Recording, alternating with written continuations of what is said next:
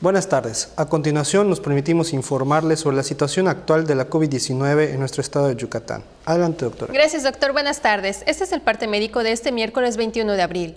La pandemia sigue y no es momento de bajar la guardia. Es muy importante que todos, en especial los adultos mayores o personas con enfermedades previas, acudan de inmediato al hospital, apenas detecten los primeros síntomas de contagio, como fiebre, tos, dolor de cabeza y falta de aire.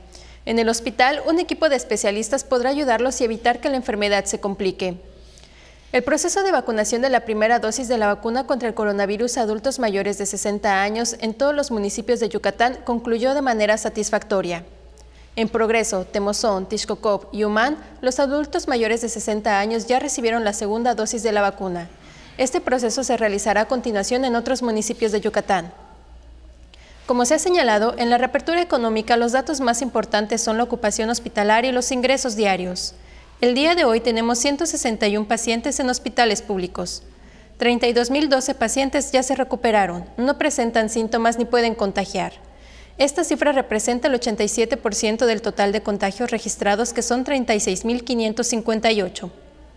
Hoy se detectaron 95 nuevos contagios de coronavirus, 74 en Mérida, 6 en Valladolid, 4 en Tizimín, 3 en Oshkuskap, 2 en Canacín y 2 foráneos, y uno en Progreso, Tecó, Ticul y Yaxcabá.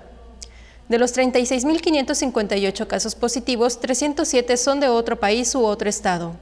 Específicamente en Mérida se han diagnosticado 22.856 personas contagiadas de coronavirus, que viven en la zona norte 6.456, 6.008 en la zona oriente, 2.145 en la zona centro, 3.248 en la zona sur y 4.999 en la zona poniente.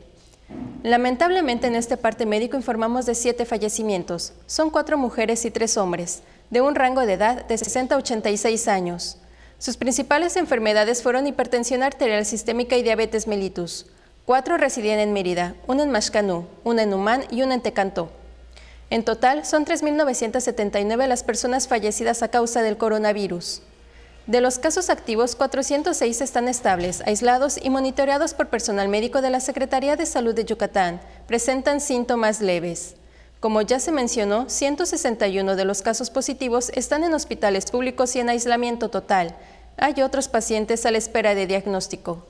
El rango de edad de los casos es de un mes a 99 años. Los indicadores semanales del semáforo estatal de salud marcan color naranja. Como se ha informado, el semáforo estatal de salud se va a dar a conocer cada 15 días, con la finalidad de homologar fechas de presentación con el semáforo quincenal del gobierno federal. Ese es el informe del día de hoy, doctor. Muchas gracias, doctora.